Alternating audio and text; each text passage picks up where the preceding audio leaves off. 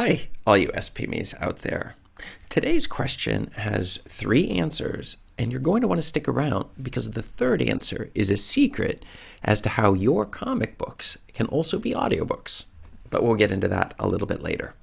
So, the question that was asked today was how to self publish comic book. So, the person who's asking this clearly you've either written a comic book or you're looking at doing it, but you're wondering, is it even worth your time? Because if you do it, are you going to be able to get it onto the market? Because maybe you're doing it by hand or you've got it in the computer, but then the question is, how do you put this together into a Kindle book or a print on demand book?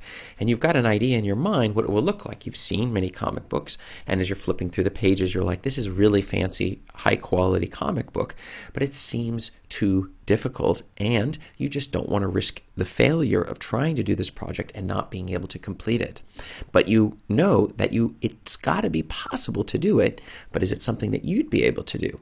Well, that is what we are going to explore in today's video.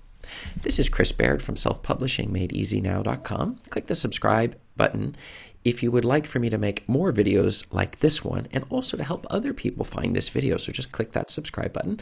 And also check out below in the description because you will find my absolutely free self-publishing checklist to ensure you are not skipping any of the important steps necessary to succeed and win in the self-publishing game.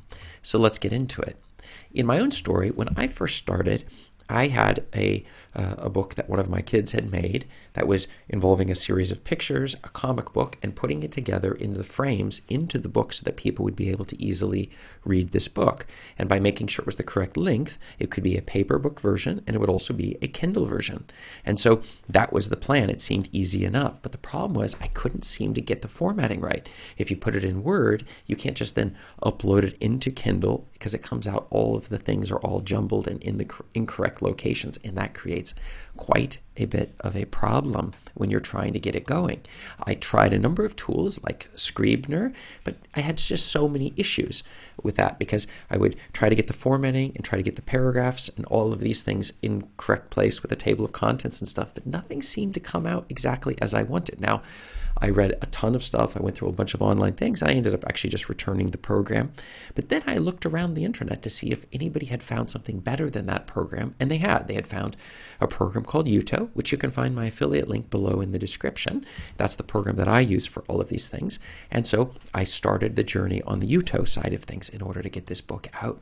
And what happened was I was able to discover how I could get the formatting exactly right. I was in contact with the developer of it as well, who was able to very easily help me in this process to making sure that all of the images in the comic book were perfectly placed and in terms of where they were located and stuff. And through this process, I was able to get the book onto the market and also get print versions of it as well. And so that was what I found worked when I was trying to get the comic book. And that was probably the most pivotal thing. So, how to self publish comic book? Well, the thing is, it's the same as any other book that you're going to be doing. It obviously it has more images than your average book, but maybe if you were doing a cookbook or something, you would also have some images or craft book or anything that's explaining something where they're going to want to see some images of what exactly you're doing. The second thing is you're going to need a tool like I mentioned, Jutoh, to make sure that the formatting is perfect. So make sure you click on the link below, my affiliate link in the description. That's the tool I use for everything that I do and gets it into all of the different formats that I'm going to need from EPUB to Mobi, which is used on Kindle. So that's what you're going to want to check out.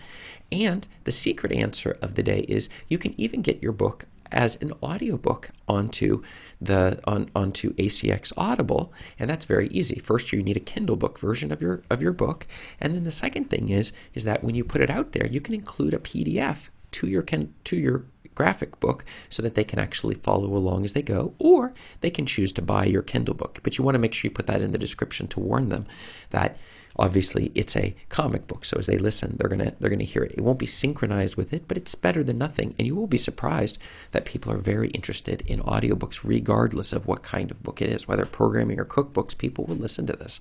And so and the same goes for your comic book. So have you tried to publish a comic book?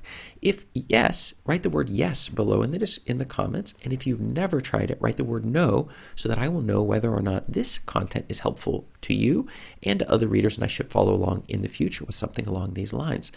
So that will really help me out. And check up above me here for more video answers to your self-publishing questions. Thanks.